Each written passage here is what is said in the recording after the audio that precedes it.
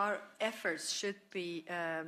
on on convincing our, our other friends and allies that uh, participation of Russian and Belarusian athletes is just wrong.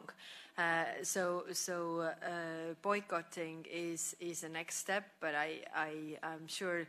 that uh, people will understand why why this um, uh,